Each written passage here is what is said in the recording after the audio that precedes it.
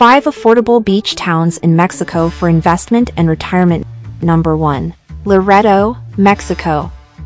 Located 741 miles from San Diego in Baja, California Sur, on the west coast of Mexico.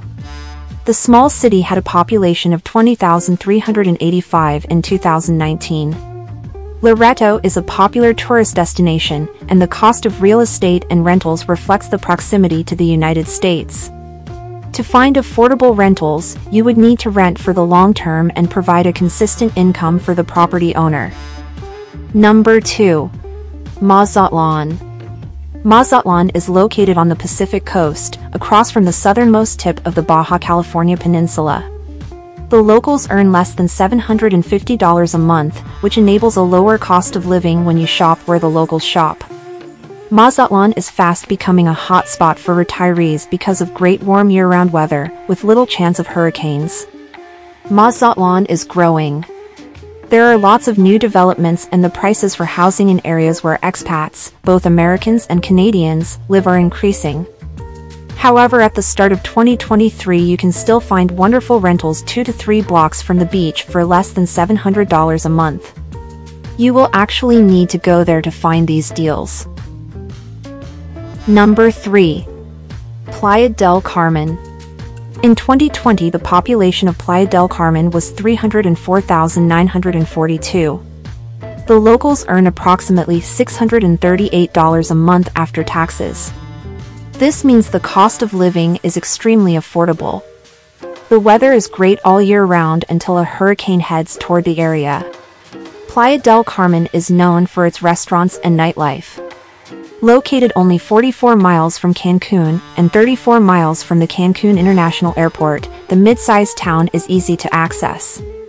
Playa del Carmen is a popular alternative to Cancun and has a lower rental rate and cost for housing. Number 4. Puerto Escondido.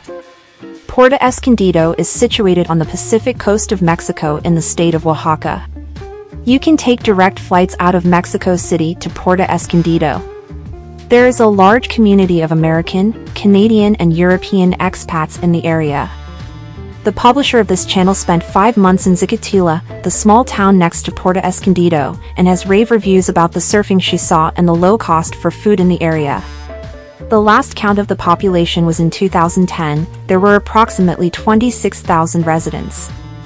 The area has grown since 2010 and is recognized as a worldwide surfing destination with a world-famous annual surfing contest.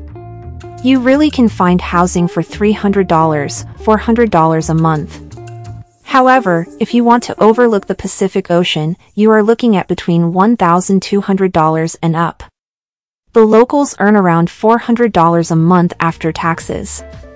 The Puerto Escondido area is one of the cheapest beachfront towns in Mexico, yet it has a world-class standing as a hot spot for surfing. Number 5. Sayulita. This unique town makes the list, not because of how inexpensive it is, but because of its unique vibe and rental choices.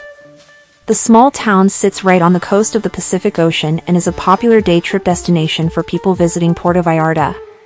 If you select a rental or real estate in town but not exactly close to the beach, you can find affordable units. Generally speaking, especially when you check sites like Airbnb, a little pricey. Rents and the cost of real estate all depends on what you see when you look out from your balcony. If you see the Pacific Ocean, it is expensive. However, it can be very inexpensive if your view includes the jungle. Usually, the jungle view will include a short walk to town. The channel believes Sayulita is the best place to buy a lot and build a home that can view the sea from the rooftop. Realizing that preparing for retirement can be a challenge. If you want to earn up to 14% interest on your investment, check out Groundfloor. This a newer, SEC-registered platform where investors can invest in short-term real estate loans, where the property is held as collateral.